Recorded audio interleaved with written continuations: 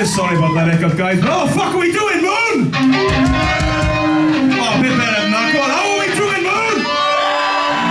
Thank you very much indeed. So we're starting off tonight with some fucking phenomenal bands. This next one, guys. We're going for good bands, today Like, they fucking started now, ain't got a chance. This next one's my favourite track.